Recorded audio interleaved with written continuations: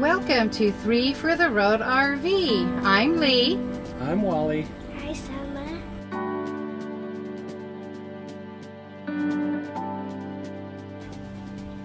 It's Friday.